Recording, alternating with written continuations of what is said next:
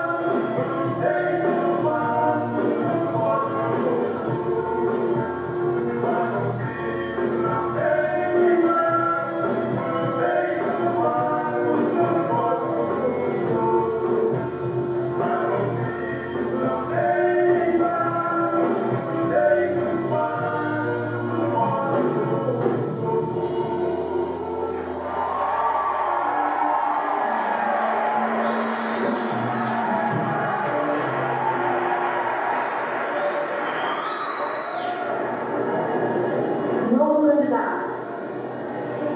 Banda Vida Nova, da Igreja Betel, em Nova Canaã.